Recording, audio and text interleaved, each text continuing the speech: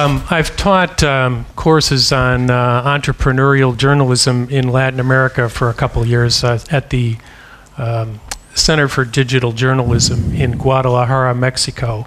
And so I have a particular interest in nurturing new independent media. And uh, I wish I had known about Sourcefabric when I was uh, uh, encouraging uh, digital entrepreneurs in Latin America to start their own websites because the tools that you have would have been very useful. Uh, as it is, um, I found that there is a tremendous thirst for uh, innovative new media, independent media in Latin America for all the same reasons that were mentioned um, by my colleagues uh, Kunda and uh, uh, uh, David. Peter. Peter. Peter, because the uh, in the traditional structure of the media in Latin America, you have these kind of oligarchic relationships between business people and politicians, and they're very tight. And the independent media threaten those tight relationships. And one of the ways that these oligarchy relationships control the media is by boycotting, by, by means of uh, restricting advertising, or they pull the advertising. Uh, uh, one of the Mexican presidents had a famous saying, uh, I don't pay them so that they can beat me up. Uh, no les paga para que me, uh, me palean.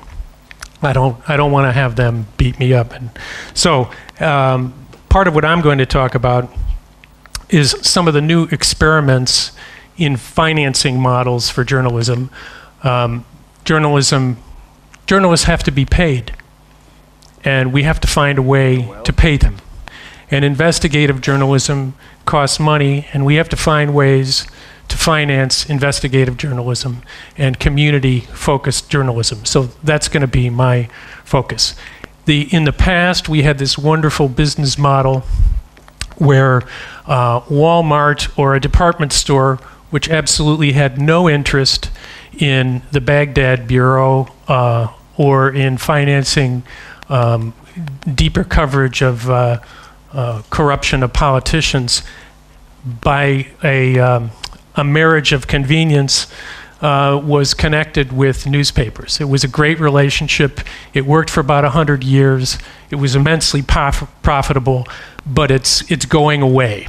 And um, so, what's happening now is that all kinds of new um, efforts are underway, experiments really in how do we pay for high quality journalism, independent journalism that gives a voice uh, to the people. I'm going to mention a couple of examples of people who are doing things that are supposed to be impossible, uh, but they've gone ahead and done them anyway. I'm going to talk a little bit about what's happening in the US and a little bit about what's uh, happening in uh, some other countries. And then finally, I'm going to talk a little bit about um, how news media um, have to sell the magic. And when I talk about the magic, um, I'm talking about what David mentioned earlier about how with community radio, people feel very connected to the information. They feel very connected to the source uh, that is bring that is uh, speaking about their problems, and this. Uh, I know this might be a dirty word, but this has a business value as well because there are uh, sponsors and there are organizations that want to benefit from the close relationship that a media organization has with its audience. And this can be a source of support uh, uh, for independent media. And the, ind- and the media don't have to lose their independence, they can still maintain that, that special relationship. This is um, Brian Stelter. Brian Stelter, for me, represents one of the new waves of journalism.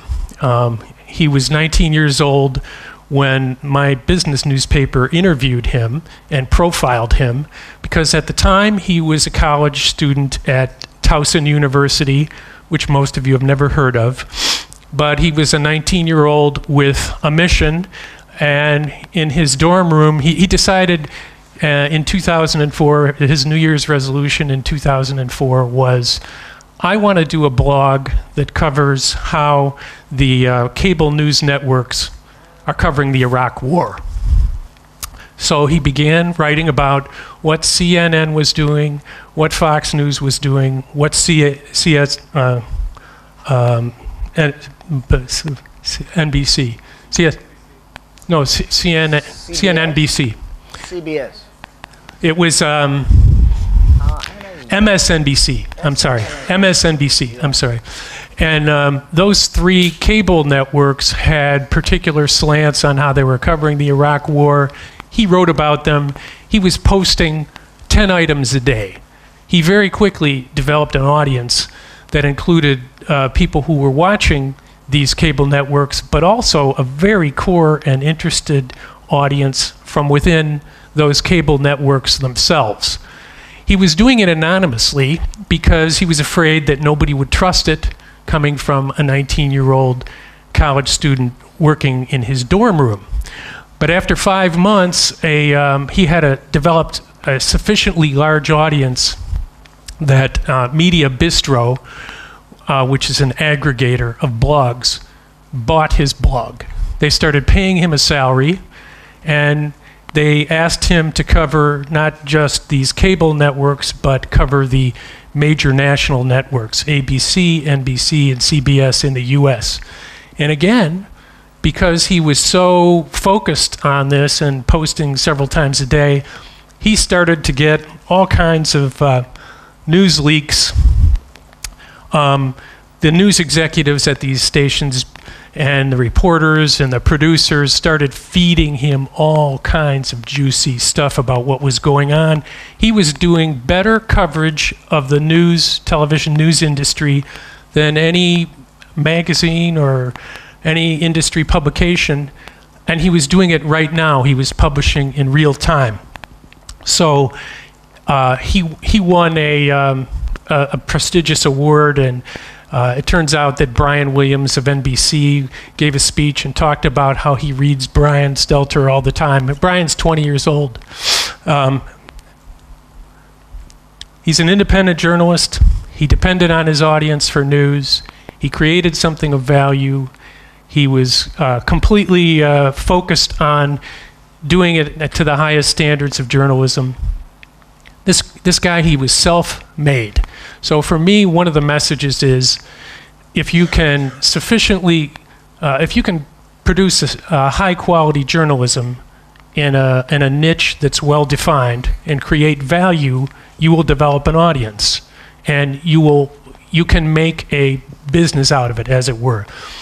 He had uh, when he when he finally left uh, doing off, left off doing this blog, he had about 200,000 unique visitors a month and 900,000 page views a month. Again, he was a college student working from his dormitory room at a, at a university that most people have never heard of. So, what happens? He graduates, and the New York Times hires him as a media columnist, which is what he's doing today. The Times never hires kids out of college, it just doesn't happen. But it happened in the case of Brian Stelter. Now he's got 85,000 followers on Twitter, and my question is how much longer will he need the Times? He's got his own brand. He knows how to do the coverage. He could maybe he could go on his own. He, he's such a nice guy, though. I'm sure he, he he hasn't even really thought about that. But someone may make him an offer. And I also thought it was kind of interesting that um, my my business newspaper published a profile of Brian when he was 20, uh, and then a couple years later, the roles are reversed. Um, I'm going to Brian on Facebook and saying, Brian, will you be my friend, please, on Facebook? So, so the new media. Big question how do we get paid? One of the things that happens when uh, new media get launched on the web is typically it's a couple of journalists get together. And uh, for any of you who play football or basketball, or any other sport, you can't have all, well, if it were, we're talking football, you can't all be midfielders. Somebody's got to be a goalie. You need a goalie and you need some strikers. And if you're building a, uh, a news operation, one of the mistakes that I've seen happen over and over again is it's, they're all journalists, and none of them know anything about sales and marketing. And I know th- these are dirty words for uh, journalists, but think of it a different way: is we have to find a way to get paid for what we do. We deserve a, a dignified salary. So think about sales and marketing in a little different way. We're trying to pay journalists for the quality of the work they do. So you need three, three legs to the stool. You got to have the journalism expertise, you got to have the technical expertise, and you got to have the sales and marketing expertise. It doesn't necessarily mean that you have to have an expert in each of those fields. It could be a journalist who really has this wonderful technology piece in, in their head.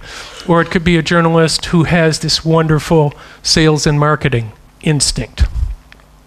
When I was working at the Digital Journalism Center in Guadalajara, I had uh, two wonderful webmasters who uh, I, I've never I'd never worked that closely with a webmaster before, but they taught me so much and they helped me uh, so much in helping this center, which started from zero, uh, very quickly get a high profile in Latin America uh, as a as a leader in digital journalism. So you got to have at least those three roles. And of course, uh, when I wrote this on my blog, um, a designer sent me a, a, message saying, You forgot to mention designers. And yes, absolutely. Uh, great design makes a great website, uh, makes it usable, makes it pleasing, makes it a pleasure. Many entrepreneurs, would be digital entrepreneurs, are unprepared. Uh, this is from a survey of some very serious digital news media in Latin America. Uh, 20% of them had no revenue at all. Uh, 75% were not covering their costs, and uh, more than half of them did not have a financial plan at the beginning. Uh, it's, it's not necessary that we have MBAs trying to uh, launch websites because the, if, with a, if you had an MBA, you would never do anything because you'd be too caught up in all the technical aspects. Uh, one of one of the um, one of the things I tell people is, well, rather than asking me, you know, what my opinion of is whether to do something this way, launch it this way or that way, I said, just go ahead and launch it and try it and see what happens. I think that's the way you need to uh, work on the web, but you also have to have, it helps uh, to have some of the discipline uh, that you get from a financial plan, a market study, um, market research. Um, what what's happening now on the web is that we're we're looking at the new financial models that are coming out include far more revenue sources than just subscriptions and advertising. And I, I do want to say at this point that we're living through a revolution, and rev- in terms of the financial models for media. And because we're because revolutions are really great at destroying things and not really very great uh, at restoring things and building things up. Uh, right now, things are in kind of a chaos, and there are many experiments underway, and some things are working, and people are trying to find the new way, but it's a work in progress. There are no definitive answers. But here are some things that are working in some places. Special events can be very profitable for media. Um, when when I was publisher in Baltimore for the Baltimore Business Journal, we had probably one event a month um, for that that was a event for which we charged admission and for which we obtained sponsors. Digital media can do the same thing because they have the same kind of intimate connection uh, that David was talking about earlier with their audience. They've created a community, small digital media or specialized media. They create a community. This community wants face to face contact, not just web contact. So they will pay to get together and, and have this experience. And there are sponsors who will pay to be in front of that audience. So special events are very important. And the Texas Tribune, which is a completely digital medium, is relatively new, two or three years old. They've made a, they do a great job with special events. It has become a very important source of revenue for them. Premium content. We all know about the Wall Street Journal and the Financial Times, which manage to charge people, uh, and they have a paywall. But um, I'll mention in a minute uh, an example of that from Costa Rica, uh, a financial site. Some media direct use direct sales. So, for example, the Telegraph has in uh, Britain has its own department store online. They've they've basically cut out the middleman. It used to be they would run the ads for the department store. Now they've set up a department store online where you can buy shoes, you can buy clothes, you can buy housewares, you can buy whatever you want. Uh, and I don't know exactly how it works, but uh, small media can do it using something like PayPal, for example. Short message services for headlines. This also could take in uh, revenue from, uh, for example, an iPad app or a iPhone app. For some reason, people show a willingness to pay for an app online where they won't pay for digital media uh, on a website. Memberships, Texas Tribune um, has a, again is a leader in this area. They have um, nine levels of membership, which, if you think about it, it, it's a kind of a subscription level that sells the magic of the subscription. Uh, I look at it this way: Time Magazine will say, "Here, Mr. or Mrs. Subscriber, you can have our magazine for a year for fifty dollars." Well, what Texas Tribune says is, we're not going to charge you to come to our website. However, we're going to offer you several different levels of potential membership from $10 a year up to $2,500 a year.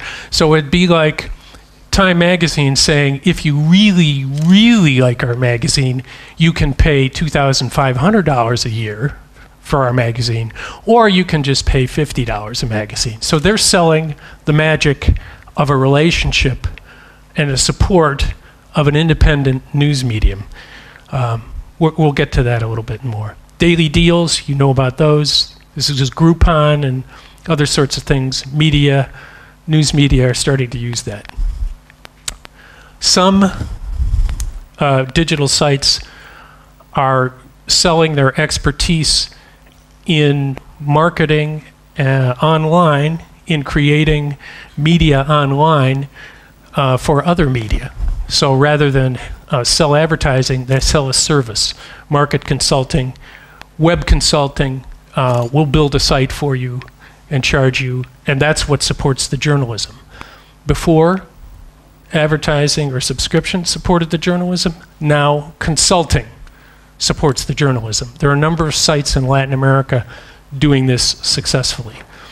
In the US and Europe, you have the tradition of foundations. Some nonprofit media are emerging with foundation support. Angels, millionaires, and then contract publishing. Uh, a guy I know in Mexico who has a uh, site on politics, it's called uh, The Respectable, El Respetable. Uh, he does contract publishing, which means he produces print media for people who don't know how to produce a magazine. So again, it's a kind of a consulting relationship. This is the Texas Tribune membership model. Uh, if you if you're a student, you can pay ten dollars a year, and if you and if you pay ten dollars, you'll get these benefits. You get to come to ha- our happy hours. You get a bumper sticker and so forth. If you pay $2,500 a year, you're a member of the chairman's circle, and that means you get invited to very special events. Uh, and so they've very cleverly created nine tiers where you can, it's essentially like you can pay as much as you want for a subscription, as it were, uh, to our publication. This is the Telegraph shop I mentioned. Newspaper is a department store. PayPal is an alternative. So they've cut out the middleman. They said, we're, we're not going to sell your advertising, Mr. Department Store owner. We're going to just, we're going to be a department store and we're going to compete with you. Um, data is a great potential business tool for media. I, I know business, it's an evil word, but think of it this way your data drives traffic, it could attract advertisers, therefore, data is a, uh, is a business model.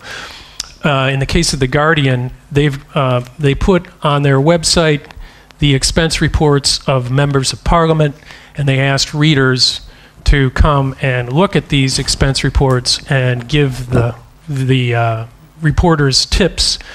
They've um, they posted uh, 458,000 pages of documents, of which more than uh, about half have been looked at by uh, readers. Now, you talk about a connection, a magical connection with readers. Think about that. These people have gone to the website and actually examined dry documents, data, uh, and 27,000 people did that. You don't think that creates a special kind of relationship, uh, and that that is something that can be, I'm going to say another dirty word here, monetized? That can be monetized. An advertiser would could look at the numbers and say these highly educated people. Um, uh, this is an audience of highly educated, highly involved people. Don't you want to reach those people, Mr. or Mrs. Advertiser? And same thing with, um, again, I'm going to mention Texas Tribune. Texas Tribune, uh, again, a new, completely digital medium in Texas, uh, put online the salaries of all state employees in a database, along with state budgets. They were surprised to learn that the traffic on the data part of their site was three times the traffic of their narrative journalism.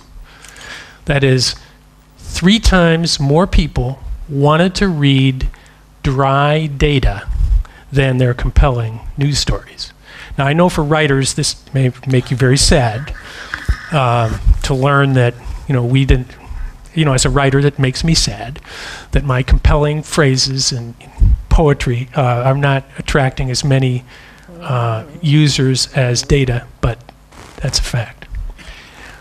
In the U.S., what's happening is a, uh, a new media ecosystem is emerging. Small digital media, either geographically or thematically focused. These are a couple of them. There's probably 60 or 70. Um, these are some of the best known.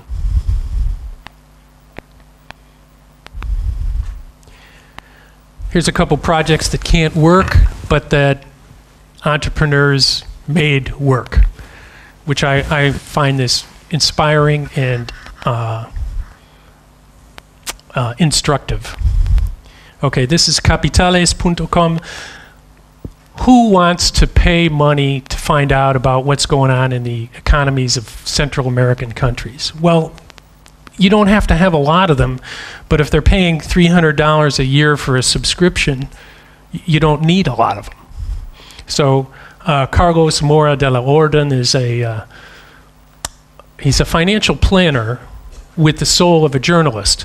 He wanted data that was clean, reliable, uh, official about companies operating in Central America. He couldn't find it. He created a, his own system of journalists to go collect it from public sources who weren't making it easy to, to get.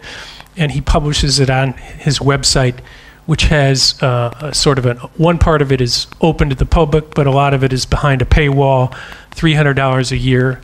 Uh, and these are companies that are listed on the five stock exchanges in uh, five Central American countries, Costa Rica being among, among them.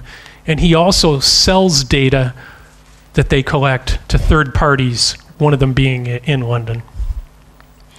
In Malaysia, uh, several years ago, Premesh Chandran was publishing an independent uh, news site.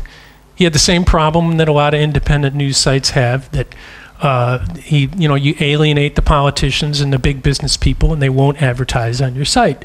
So they were facing, they were at the point where it was, we're going to go out of business unless we do something. So he came up with the idea of, well, let's let's ask our readers if they would pay for the for the uh, for the service Malaysiakini. They publish in Chinese, Malay, Tamil, and English. So they asked the readers, and the readers, 99% said no, we don't want to pay. Uh, but Premesh said, okay, well, we're going to do it anyway because if we don't, we're, we're going to go out of business anyway. So let's charge the English speakers for the access to the English site, which they did. And that's about 5% of their readership. And they charge $48 a year, and they're still publishing. And now they're, they have a, over a million and a half unique users a month. So he didn't listen to the, the survey. He's, he just said, I, th- I think we need to do this. We're going to do it. They did it.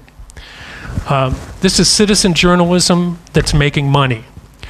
Um, th- their, their goal is not to make money, their goal is to create citizen journalism in Chile. And Jorge Dominguez is a social activist who went to Korea and saw the operation of Oh My News, which is a citizen, um, user-generated content website um, that has hun- hundreds of thousands of uh, uh, users all over the world. And he thought this is a model we should establish in Chile. Uh, they set up 18 local sites in, in Chile, which is, I don't know if you've seen it, Chile is a couple thousand miles long, and most of the media are concentrated in the capital. Uh, but they decided to create locally focused websites all up and down the country. Um, they're getting most of their revenue from a kind of a consulting business like I was describing before. They create websites for third parties, and that's where they generate most of their money. They also generate some money from local advertising. But these sites, each of these 18 sites, has about four or five professional journalists, and they have a lot of user generated content, and they cover topics that the mainstream media do not go into in detail human rights, indigenous people, uh, envir- uh, environment, uh, gender, uh, topics that would otherwise be neglected. Incidentally, uh, in general, I think there are lots of opportunities for new digital media in areas of coverage like education and uh, human rights and environment, and they can they can be sustainable operations. In Guatemala, Guatemala is a relatively poor Central American or Latin American country, and uh, so why would you think you could sell a premium headline service via SMS? Well, they did it. Um, they're generating about sixty thousand dollars a month. They have they have more subscribers, or they did a year or so ago, uh, for for the headline service. This is pure text headlines, six headlines a day. The people who subscribe to the service pay four or five dollars a month. The phone company bills the people for this, and they give 30% to the newspaper. Um, for uh, El Periódico, which is a newspaper that is completely independent and regularly writes stuff that angers either the politicians or the business people who are in bed with the politicians, you have to have revenue sources other than advertising because at any moment they could pull the plug on the advertising and then you're out of business. So they, they did something that, you're, again, you're not supposed to be able to do. Similar with El Faro, uh, the, the lighthouse in uh, El Salvador. Um, you have low internet penetration, but this um, Carlos Dada and his team have managed to put together an interesting digital publication um, that gets about two thirds of its revenue from uh, non governmental organizations. That's not really a business. Well, it is, yeah.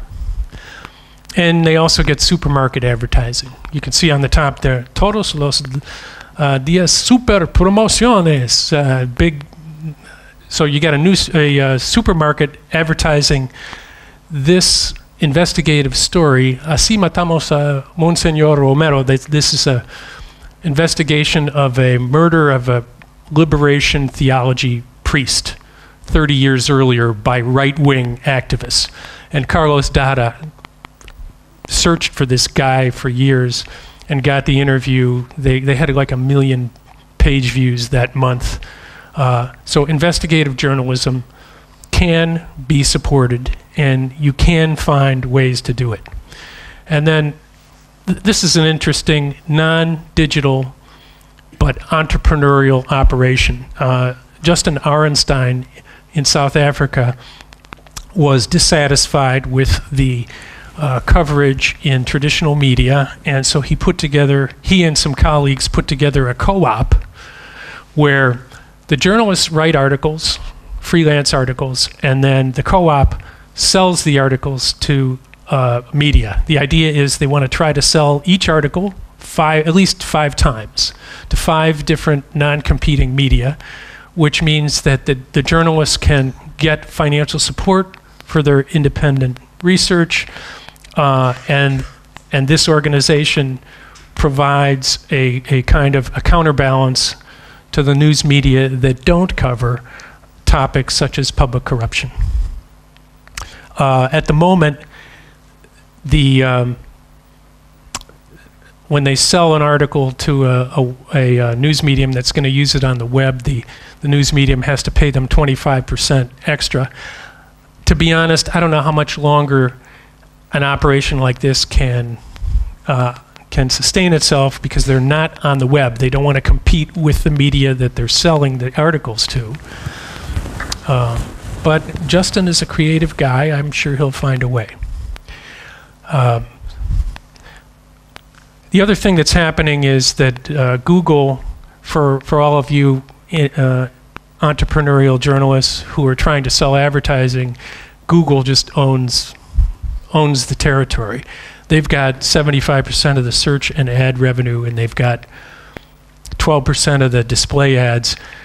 And in the in the online world, for any of you who are, uh, uh, everything is measured, and there's numbers for everything. But you can't really compete with that. Um, what Google will tell you is, we're going to deliver ads to your uh, uh, what they sell to advertisers is we're going to deliver your ads to people who are interested in the topics, but it's all based on numbers, and um, and when a machine is selling the advertising for you, the ad rates are pretty low. Uh, when uh, when I was still active as a publisher, our um we were selling or we were getting about uh, hundred dollars compare that to uh, $100 CPM. Compare that to newspapers, second from the bottom, which is $7 per CPM, is about the going rate in the market today on among digital media. Um, so it's your websites are being sold by the numbers and not by the magic. And I guess what I would say is you need to sell the magic. And when I'm talking about selling the magic, I'm talking about, with Texas Tribune, for example, selling the possibility of a relationship with the digital website at one of nine different levels, uh, not based on numbers, but based on people's feelings for the news medium. Sell the magic means sell to an advertiser don't use Google to do your advertising sales for you. Sell your advertisers on a relationship with a credible news medium. Um, so, what what you're saying is we're going to we are going to put your product or service in an environment of a credible news medium, our news medium, and you're not going to be part of just a data dump. We're, we're not going to just uh, put your ad in front of somebody who has Googled independence. We're going to put you in front of a, uh, a community that has an interest in high quality, credible news, and, and that we're going to put you in front of uh, people who have a connection with the content that you're producing. That, this has a value that is not being measured by Google or any of these other uh, audience measurement technology companies. So, sell the magic.